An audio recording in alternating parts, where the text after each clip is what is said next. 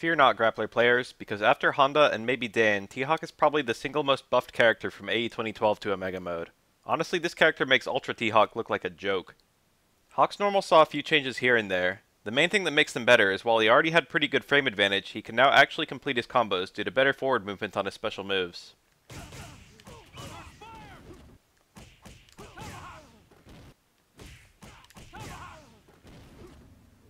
Close Roundhouse now launches like Zangief. It's a free juggle state, but you still can't juggle to Ultra 2.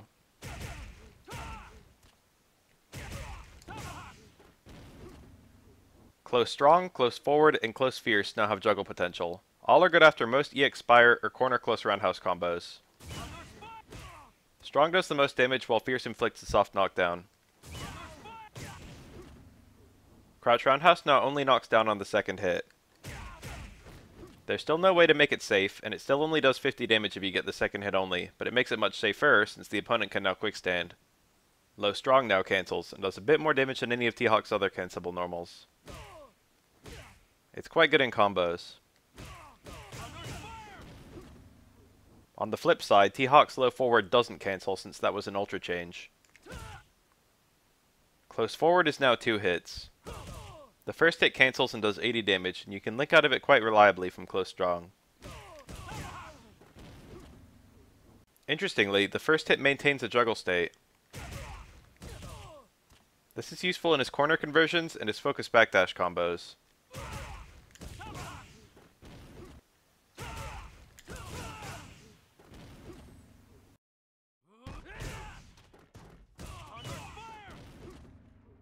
You have a new normal, Hunting Hawk, towards Fierce.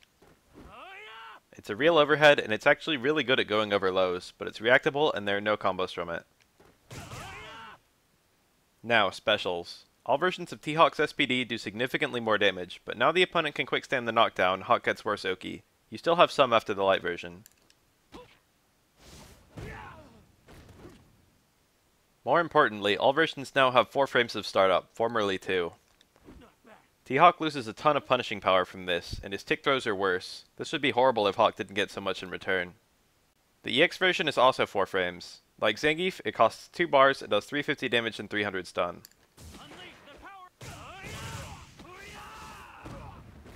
Unlike Zangief, you can't combo into it at all. It does have a bit more range than his light SPD.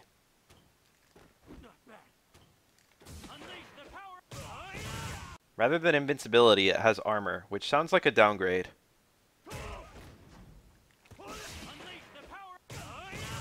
But since it gets the armor on frame 1, you can do an armor cancel ultra with it.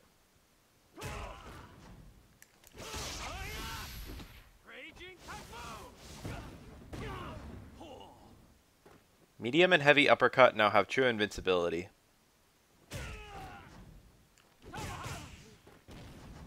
Medium is a bit faster than heavy and does a bit more damage as an anti-air, 180 versus 170. Unlike the other two versions, medium is two hits. This means it'll work in some of T-Hawk's juggles. Light uppercut is important too. It has the most lateral reach of his uppercuts, so it's the most consistent in combos. Compare all three.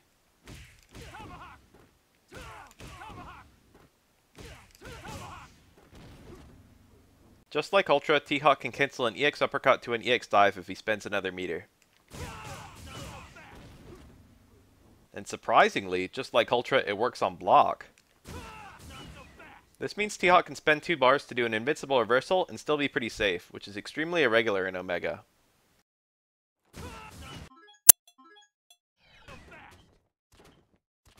EX uppercut to EX dive is generally T-Hawk's ideal 2 bar route for damage, and he can break 400 with it. The corner carry is insane, as usual. Condor Spire has been buffed so much it's unreal, and it absolutely qualifies as T-Hawk's gun. It makes Ultra Spire look like trash. The input is now an extremely manageable quarter circle forward kick. All meterless versions now have a startup hit, which makes them dramatically faster. The light one is now 3 frame startup, the medium one is 4, the heavy one is 6, and the EX one is 9. They also have dramatically more forward movement. Even the heavy one is fast enough to combo from light normals, and it does the most damage. I can't overstate how fast they are. You can literally just link into them. That was the heavy version. Since they all have different ranges and speeds, certain versions tend to drop out in certain combos. Here's a string where the light and heavy ones work, but the medium one doesn't, for example.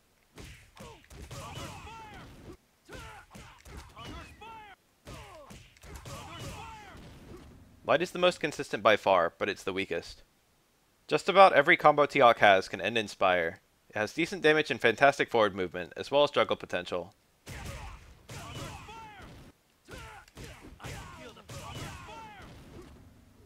And did I mention it actually has great Oki?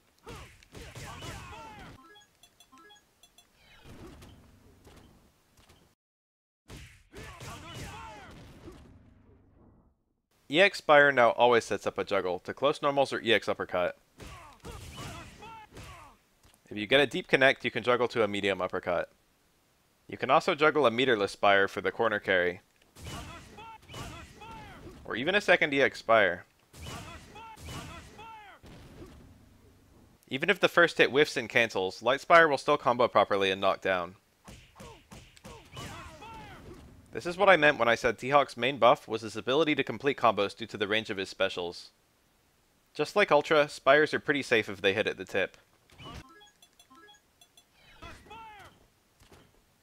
As icing on the cake, if a Spire is 2 hits, you can FADC the first hit and combo a level 2 focus.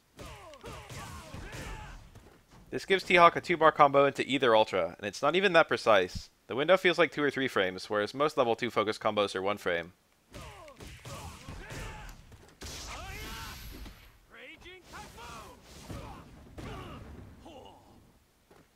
T-Hawk's main new special is fantastic too. Quarter Circle Back Punch gives you Earth Rage. Literally a Seismo. There are no differences between versions other than where the Seismo hits. T-Hawk's poor movement and lack of Oki's MF from his throws don't even matter. He doesn't mind being reset to neutral now because of how good this move is. He can now easily hang with Fireball characters at mid-range. It's already pretty safe, but if it connects you can FADC it.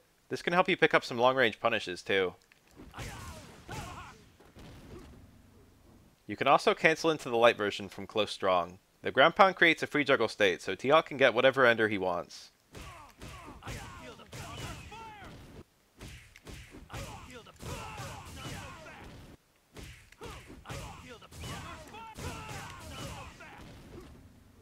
EX Earth Rage is plus, and throws the opponent extremely far away from T-Hawk. Generally speaking, he has no good conversion from it. And it won't work properly against cornered opponents, but it's fast enough to combo from close forward or low strong. T-Hawk's last grounded special is also new. If you hit 3 kicks, T-Hawk will get a sort of command jump, evidently called Condor Rise.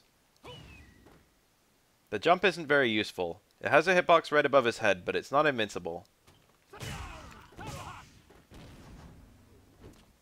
After jumping, you can do a Condor Dive for any of your neutral jump normals.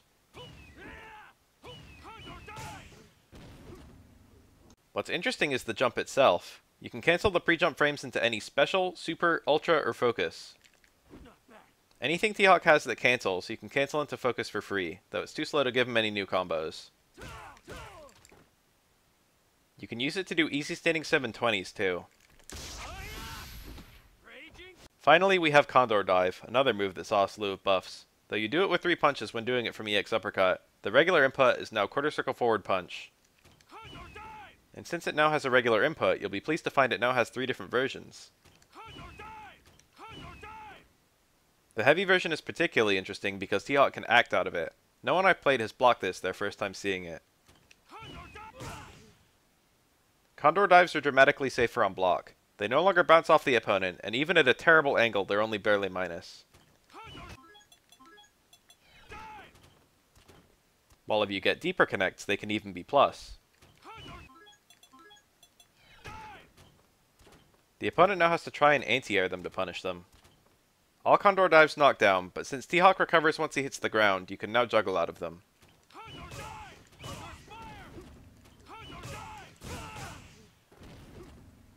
EX dive is mostly the same as the medium one, but it has an easier time getting cross-up dives and it does a bit more damage. I feel like I should mention now that no Hawk Dive breaks armor anymore, not even EX. If you're jumping away, you can't do meterless dives, only EX. EX Dive has no height restriction, so you could theoretically use it to blow up standing crouch techs. And T-Hawk still has his instant overhead with it. Unfortunately, T-Hawk Super saw zero changes apart from a boost in damage, so he's a rare example of an Omega character who can't easily break 600. You can't cancel or combo into it in any way except from Focus Crumple, and there are no juggles into it. Though T-Hawk has a pretty easy time using a lot of meter in a single combo.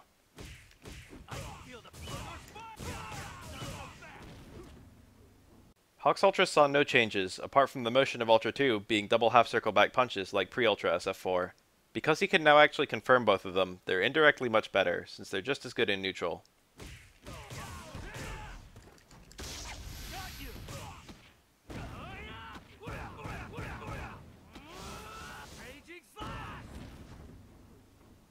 I honestly get the feeling that the original SF4 dev team didn't truly care about T-Hawk being viable, as long as he wasn't ruining the game by being too good. He's consistently one of the most mediocre characters since his debut. And what's worse, his skill ceiling is frustratingly low compared to most of the cast. It feels like Omega T-Hawk, who was designed by the SF5 team, was made to truly be competitive with the rest of the roster. His grappler knobs were turned down, and in return he got a ton of unique tools built around his long-range pokes, short-range plus frame normals, and linear movement-oriented specials. The result is a slow, close-range brawler, where your command grab is just there to remind the opponent that they can't block forever. You can feel this design in several characters in SF5, most notably Necalli, but also Birdie and Abigail to some degree.